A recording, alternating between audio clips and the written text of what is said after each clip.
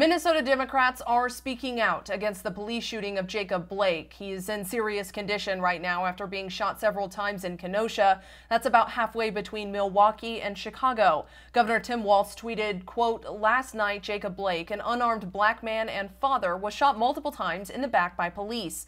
Gwen and I pray for him as he fights for his life and for his children who witnessed this horrifying event. Lieutenant Governor Peggy Flanagan called for an end to the racist systems perpetuating violence against black people. Senator Tina Smith is calling for people to harness their anger to end systemic racism and unaccountable violent killing of black and brown people.